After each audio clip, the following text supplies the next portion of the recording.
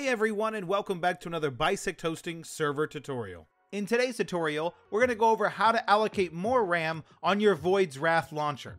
Before we jump in, if you are looking to host your own Minecraft server, check out bisecthosting.com.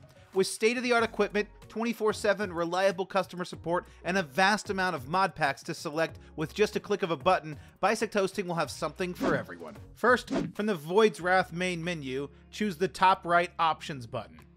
From here, where it says Minecraft options on the right, it'll say memory size to allocate to Minecraft, and here's where we can change it to whatever value we would like to allocate for our RAM.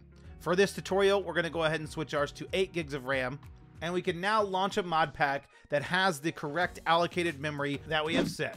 If you have any questions, check out our knowledge base, bisecthosting.com slash kb, or you can submit a support ticket on our website.